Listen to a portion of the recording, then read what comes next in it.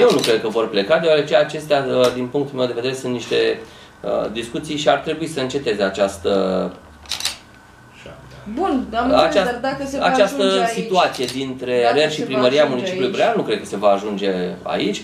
Uh, E o situație în extreme și nu cred că o societate ia în calcul să abandoneze un contract cu un partener care este bun platnic la Atâta, timp. poate sunt mai masochiști, de se da, întâmplă. există riscul Ah. ca să se întâmple Uh, Cu, lucrurile, să cu, sig- praica cu ta- siguranță, atunci E- vom intra în Consiliul Local și putem să găsim o altă societate la nivel național care să primească contractul, la fel cum și RER l-a primit prin delegare. Pe asta zic, avem Deci și nu alte va fi o variante, situație, nu- plus că în momentul respectiv, dâns și vor trebui să notifice cu o perioadă de timp înainte. Ei nu au astfel- spus că dacă s-ar retrage o să o facă legal, cu Da. notificări. Exact, cu notificare, etc.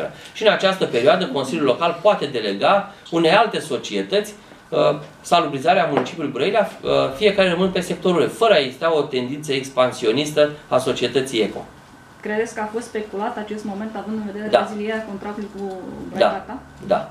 Cred că a fost, uh, uh, să spunem așa, un fel de încercare de șantaj asupra primăriei municipiului Brăila și instigarea cetățenilor, uh, creând o situație de panică la nivelul municipiului. Nu este cazul să existe o asemenea situație.